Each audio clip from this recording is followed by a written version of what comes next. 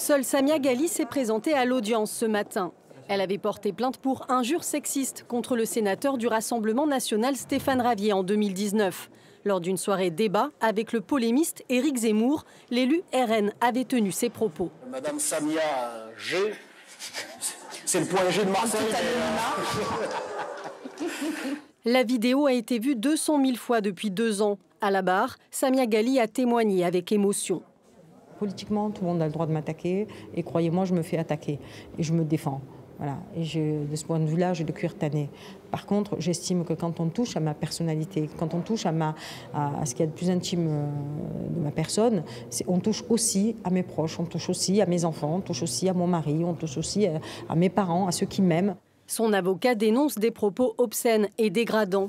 Pour lui, ce sont les valeurs de la société qui sont ainsi attaquées. Quand on évoque un terme qui appartient à votre intimité, euh, un terme sexuel, avant d'être sexiste, il est sexuel. Et donc il est nécessairement sexiste et machiste. C'est toutes les femmes qui sont attaquées. L'avocat de la défense a dénoncé une pièce de théâtre politico-médiatique.